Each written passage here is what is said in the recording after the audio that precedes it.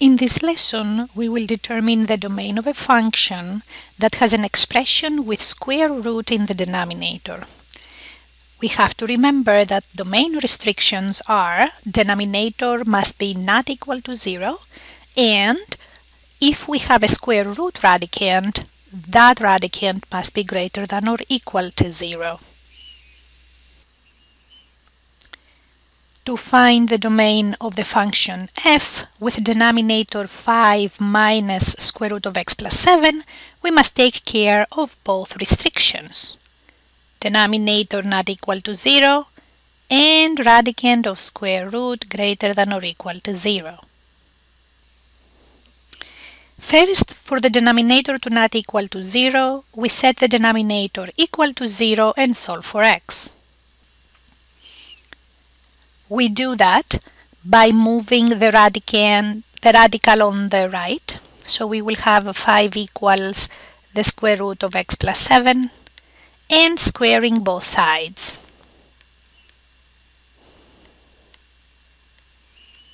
We get 25 equals x plus 7 or if we subtract 7 from both sides 18 equals x. This value of x is the value that makes the denominator equal to 0. Therefore, one of the restrictions is that x must be not equal to 18. Second, we must make sure that the square root radicand is greater than or equal to 0. This means x plus 7 greater than or equal to 0 or x greater than or equal to negative 7.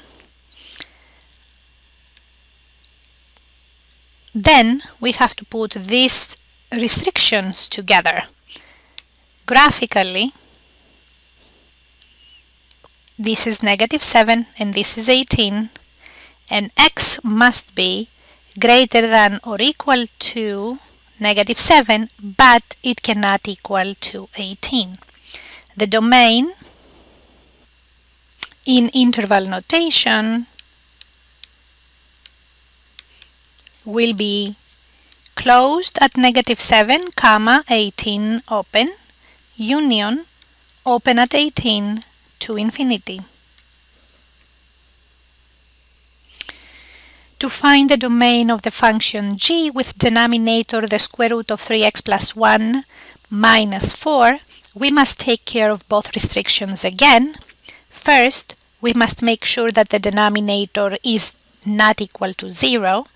So I'm gonna set the denominator equal to 0 and solve for x. To do that I will move the 4 to the right and then I will square both sides.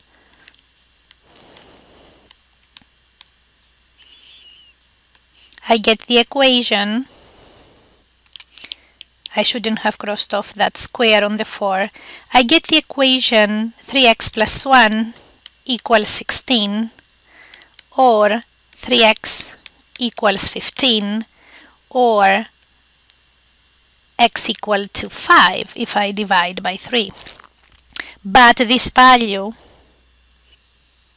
makes the denominator equal to 0 and therefore it has to be excluded from the set of real numbers that makes x not equal to 5.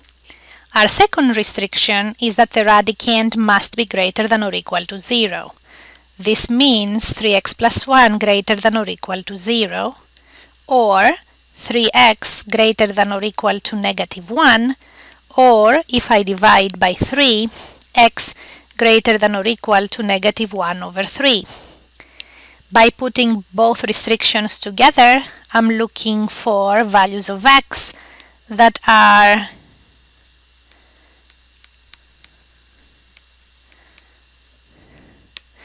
greater than or equal to negative one third, but not equal to 5.